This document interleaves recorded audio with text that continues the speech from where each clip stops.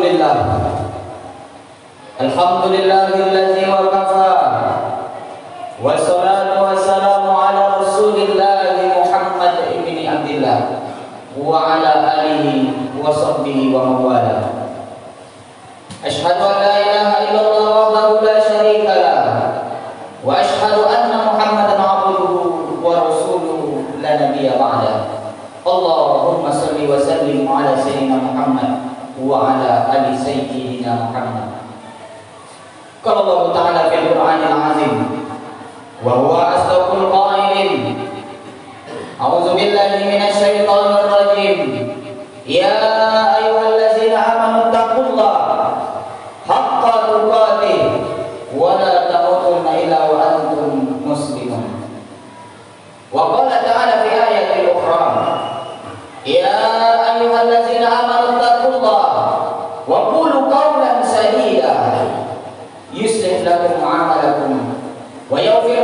لكم ذنوبكم ومن يطع الله ورسوله فقد فاز فوزا عظيما أوصيكم ونفسي بتقوى الله وطاعته فقد فاز المتقون Hadirin sedang jemaah Jumat yang dirahmati oleh Allah Subhanahu wa taala.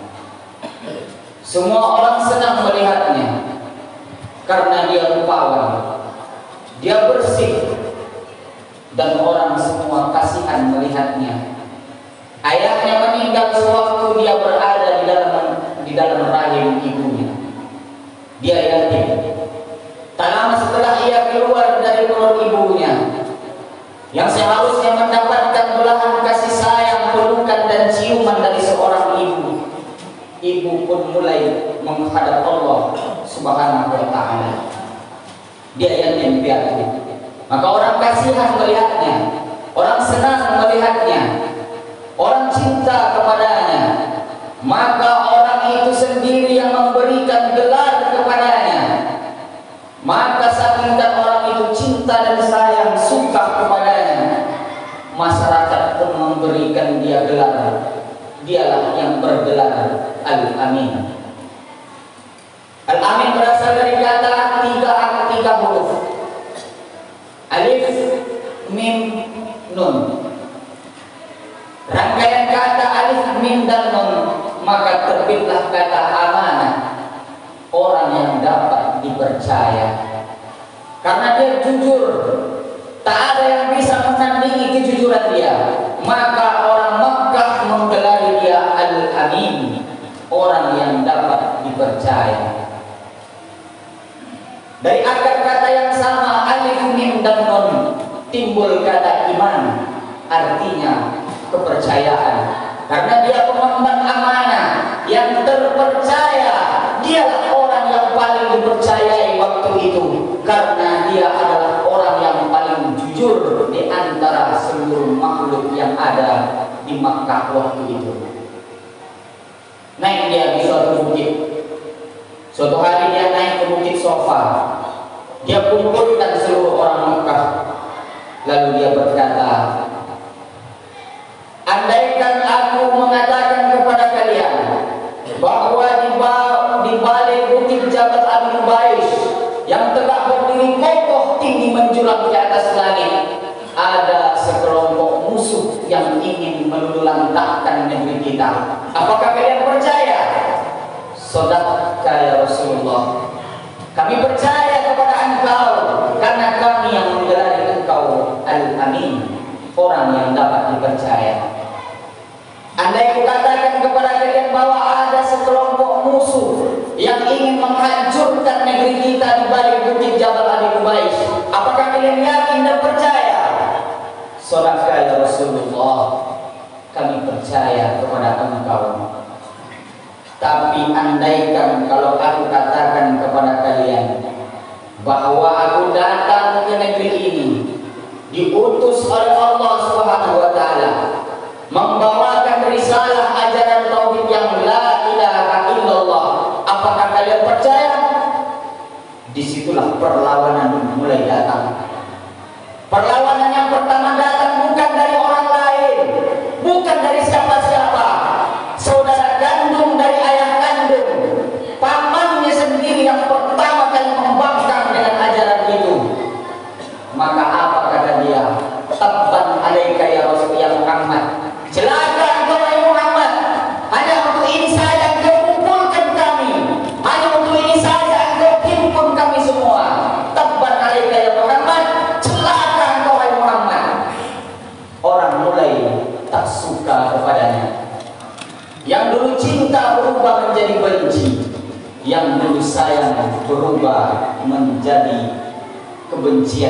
yang membabi buta karena dia berada di jalan Allah Subhanahu wa taala. Maka hari demi hari dia lalui untuk terus menegakkan risalah, menyampaikan ajaran Allah, menegakkan tauhid la ilaha illallah dengan cara apa pun dia lalui maka Makkah Mukarramah sebagai tanah kelahirannya bagaikan onak dan duri dalam menyampaikan ajaran Allah. Tapi dia tidak hanya hancur di situ saja. Dia tidak pernah mundur. Dia tidak pernah berputus asa. Dia terus menyebarkan agama Allah dengan rahmatan lil alamin. Karena memang dia diutus oleh Allah. Wa ma arsalna ilai wa ma arsalna rahmatan lil alamin. Sungguh dia diutus untuk menyampaikan dengan kekerasan, bukan dengan pertumpahan darah, bukan dengan gencatan senjata. Rahmatan lil alamin. Rahmah, ar-rahmah, kasih sayang, cinta bagi seluruh alam maka kita berada di ajaran yang dibawa oleh seorang nabi yang mengutamakan cinta dan kasih sayang. Hari demi hari lalui. Yang pertama tempat bergantung setelah ibu meninggal diasuh oleh kakek ayah kandung dari ayahnya sendiri Abdul Muthalib. Tak lama kemudian Abdullah Abdul Muthalib pun dipanggil oleh Allah Subhanahu wa taala satu persatu ranting tempat berteduh, tempat bergantung itu diambil oleh Allah Subhanahu wa taala. Karena Allah sallallahu alaihi wasallam ada tempat mengadu, ada tempat berlindung sedikit pun di dalam hatinya kepada manusia, kepada benda, kepada harta karena ingin Nabi Muhammad hanya berlindung dan mengadu hanya kepada Allah Subhanahu wa taala. Selesai paman, selesai dari kakeknya yang mengasuh, diasuh oleh pamannya sendiri. Paman pun sudah mulai tak suka kepadanya karena dia sudah mulai sesuatu yang merusak kepentingan pamannya. Akhirnya tempat bergantung itu pun satu persatu mulai patah Pamannya sudah mulai membangkang. Di tahun yang sama istrinya tempat dia berlindung pun sudah dipanggil oleh Allah Subhanahu wa taala. Habis tempat bergantung, habis tempat berlindung, tak ada lagi akar untuk tempat berduduk, tak ada lagi pohon untuk bersandar, tak ada lagi pohon yang rindang untuk berteduh kecuali hanya kepada Allah Subhanahu wa taala. Allah asah mentalnya, Allah kuatkan hatinya. Allah tak cemburu dengan dia karena dia masih berlindung kepada manusia dan kepada harta dan benda. Suatu hari dia berjalan. Sengaja dia berjalan ke suatu negeri yang bernama Taif. Berada di 80 km dari kota Makkah. Dia berjalan kaki Makkah Mukarramah waktu itu sudah menjadi onak duri bagi dia dalam menyampaikan pesan Allah Subhanahu wa taala. Sudah menjadi onak duri bagi dia dalam menyampaikan ajaran agama Islam. Sengaja dia berangkat keluar dari kota Makkah berjalan kaki 80 km sampai di negeri Taif. Dia berharap dia akan menyangka bahwa dia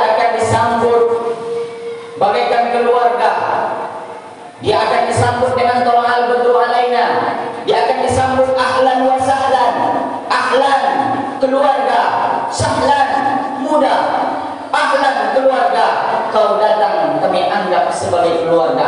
Sahlan kau datang urusanmu muda tapi ternyata tidak. Dia bukan dianggap sahlan. Dia bukan pula dipermudah segala urusannya. Dalam menyampaikan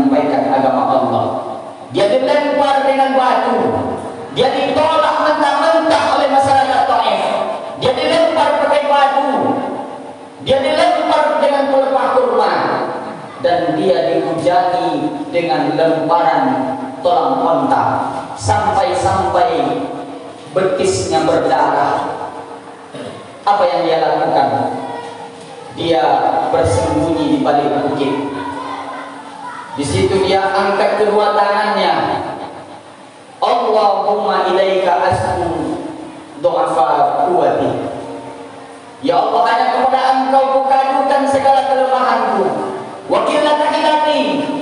segala ketidakberdayaanku. Wa awali bainan nas dan aku hina di antara manusia. Dulu ada tempatku bergantung, dulu ada tempatku berlindung. Hari ini hanya kepadamu saja wahai Allah Subhanahu wa taala. Maka ketika itu Allah putus dua malaikat. Yang pertama malaikat Jibril.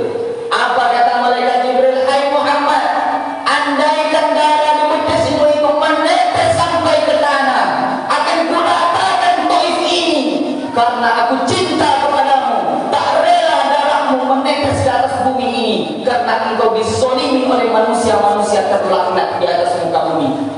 Lalu datang malaikat malaikat Jibal, malaikat penjaga segala bukit. Kau tunjuk bukit yang paling besar hai Muhammad. Akan kutimpakan kepada mereka, akan kucampakkan di atas negeri mereka. Lalu apa jawaban Nabi Muhammad? Hati yang luka biasanya akan datang dendam musumat. Tapi itu tidak terjadi Sallallahu Alaihi Wasallam. Lalu apa katanya? Asallah min ukhrija aslu uslubihim man ya'budullah wa la tusrika bihi syai'an Ya Allah keluarkan dari tulang sulbi mereka keluarkan dari rahim mereka anak cucu yang menyembah mempersekutukan engkau satupun pada negeri ini dan pada hari ini doanya makbul. Hatinya susah, dia terzolimi.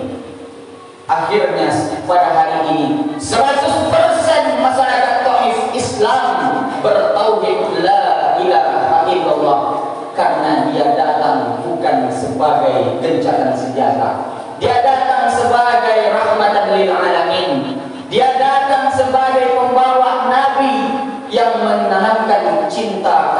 Sayang di dalam penyebaran agama Islam. Maka pada hari ini kita berada pada bulan Rabiul Awal, tepat tanggal bulan kelahiran dia. 14 abad yang lalu dia sudah pikirkan kita. Ketika dia dizolimi, gigi gerahangnya patah dalam menyebarkan agama Islam. Lalu para sahabat meminta kepada Nabi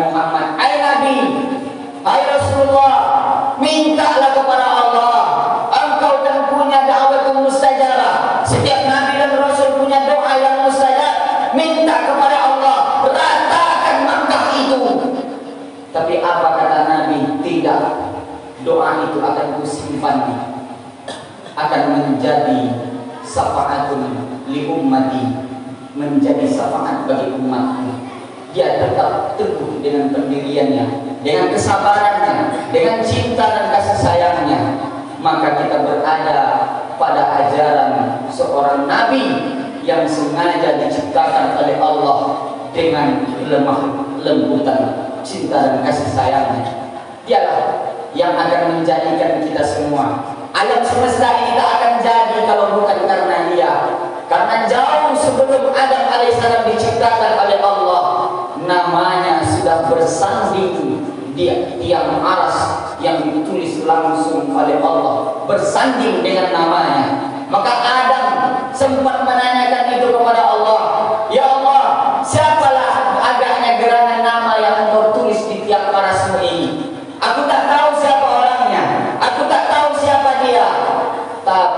aku yakin bahwa kalau dia adalah orang yang paling mulia di sisimu takkan mungkin namanya kau sandingkan dengan namamu.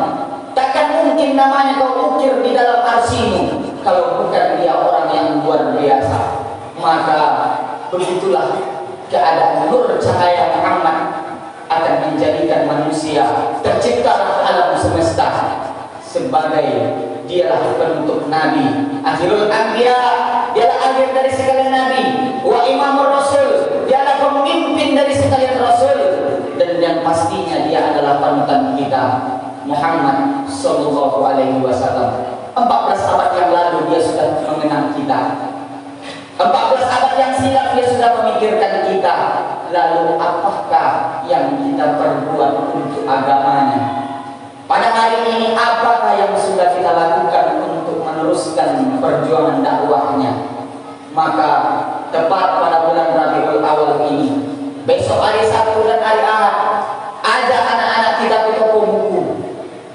Belikan mereka buku-buku tentang sejarah Nabi Muhammad. Tak mereka baca sekarang, nanti setelah kita mati, dia akan meneteskan mata membuka buku itu karena kita yang membelikannya. Kalau kita kenalkan dia dengan nabinya, maka dia akan cinta. Kalau sudah kenal, dia akan cinta. Kalau sudah cinta, dia akan berkorban hartanya, dengan segala ajaran yang dibawa oleh Muhammad Sallallahu Alaihi Wasallam. Biarkan anak-anak kita jatuh cinta kepada nabinya.